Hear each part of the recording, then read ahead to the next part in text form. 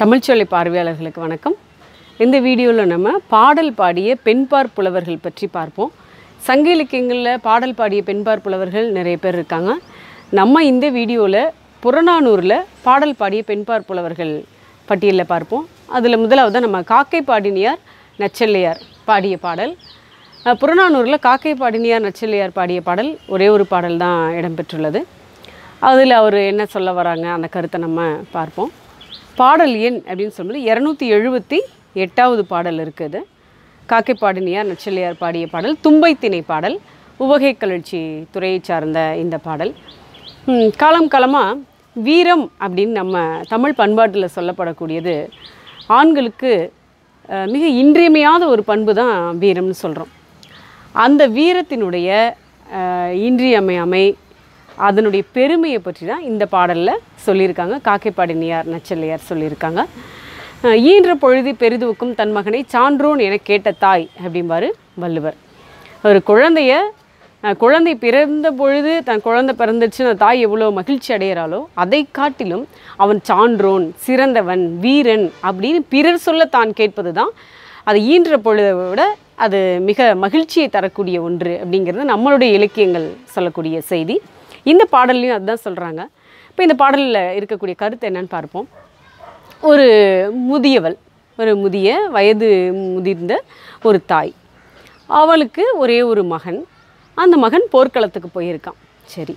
அப்படி போர்க்களத்துக்கு போயிருக்கான். தன் மகனுடைய வருகை வெற்றியுடன் மகன் திரும்பி வருவாங்கிற அந்த வருகைக்காக எண்ணி காத்திருக்கிறாள் அந்த தாய். அப்படி காத்திருக்கும் பொழுது போர்க்களத்தில் போர்க்களத்தில் போரெல்லாம் முடிந்து விட்டது. அந்த போர்க்களத்திலேருந்து வந்த வந்த ஒவ்வொரு வர்றவங்க ஒவ்வொன்று சொல்லுவாங்களே இப்படி நடந்தது அப்படி நடந்தது சொல்லிட்டு அந்த மாதிரி வருகை புரியதில்ல. அதில் ஒரு ஒருத்தர் வந்து சொல்கிறாங்க அந்த அம்மா கிட்ட உன்னுடைய மகன் போர்க்களத்துக்கு போயிருக்கான் தானே? அப்படின்னு கேட்கும்போது ஆமாம் என் மகன் போர்க்களத்துக்கு போயிருக்கான் அப்படின்னு சொல்கிறாங்க ஐயோ அவங்க மகன் வந்து புறமுதுகிட்டு ஓடி விழுந்து இறந்து கிடந்துட்டான். அதான் போரில் வெற்றி பெறல.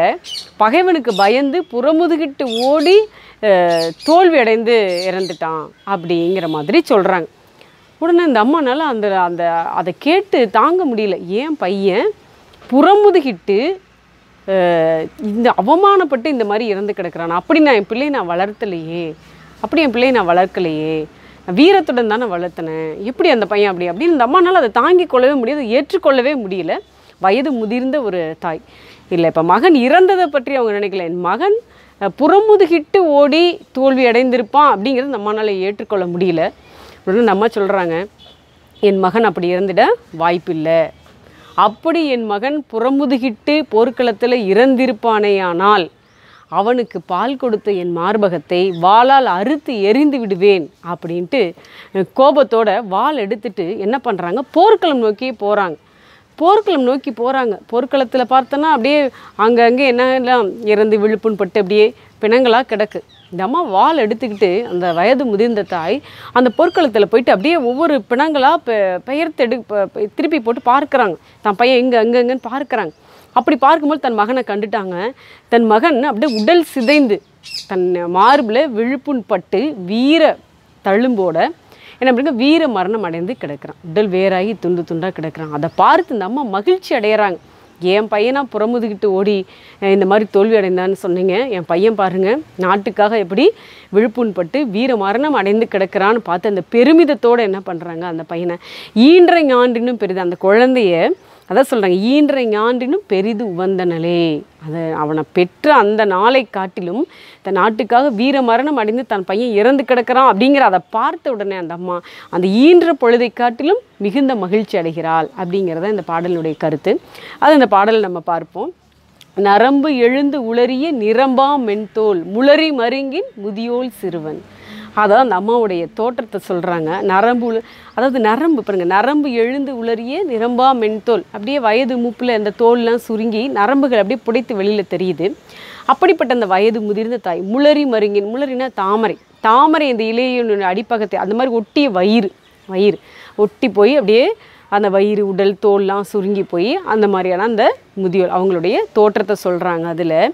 படை அழிந்து மாறினன் என்று பலர் கூற உன் பையன் புறமுதுகிட்டு இறந்து போய் கிடக்கிறான் அப்படின்னு பலர் சொல்ல புறமுதுகிட்டோடி போ போர்க்களத்தில் இறந்து கிடக்கிறான்னு பலர் சொல்ல அதுதான் சொல்கிறாங்க படை அழிந்து மாறினன் என்று பலர் கூற மண்டமர்க்கு உடைந்தன நாயின் உண்டை என் முளை அறுத்திடுவன் யான் என சினையி?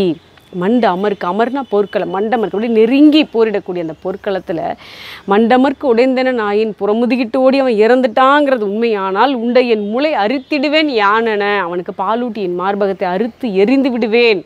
அப்படின்னு சினை இப்படி கோபப்பட்டு சினந்து கொண்ட வாளோடு படும்பினம். வால் எடுத்துக்கிறாங்க கையில் வால் எடுத்துக்கிட்டு படும்பினம் பெயரப்போ என்ன பண்ணுறாங்க செங்கல துழவு போல் போய் அந்த போர்க்களத்தில் குருதி நிறைந்த அந்த போர்க்களத்தில் என்ன பண்ணுறாங்க துழவி பார்க்குறாங்க. எங்கே த பையன் அப்படின்னு துழவி பார்க்குறாங்க.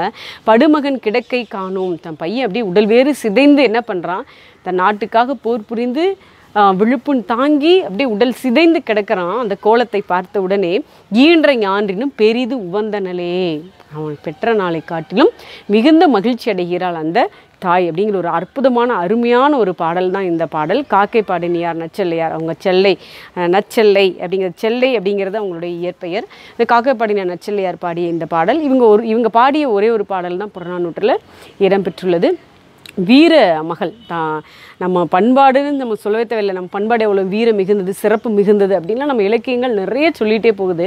அந்த வீரத்தில் பெண்ணுக்கு உரிய இடம் என்ன? எவ்வளவு சிறப்பு வாய்ந்த ஒரு இடம் அந்த பெண்மைக்கு உண்டு அப்படிங்கிறத வீரத்திலும் பெண் எப்படி பங்கு கொள்கின்றாள் அப்படிங்கிறதுக்கான ஒரு அருமையான அற்புதமான எடுத்துக்காட்டு பாடல் தான் இந்த பாடல். இந்த பாடலுடைய வரிகளை நீங்கள் நன்கு படித்துக்கொள்ள வேண்டும். முன்பு சொன்னது போல் மூலநூல் வாங்கி அதனுடைய பாடலுடைய வரிகள் வரிக்கு வரி நம்ம அதனுடைய பொருள் உணர்ந்து படித்துக்கொள்ளுங்கள். கொள்ளுங்கள் அடுத்த வீடியோவில் பாடல் பாடிய பெண்பார் புலவர்களில் இன்னொரு பெண்பார் புலவருடைய பாடலோடு நம்ம சந்திப்போம். நன்றி வணக்கம்.